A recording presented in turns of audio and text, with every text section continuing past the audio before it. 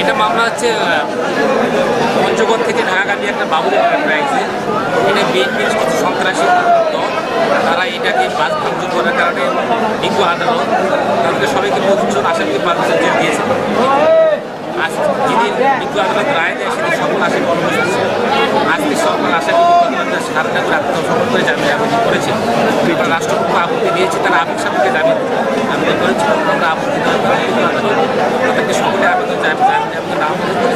Gracias.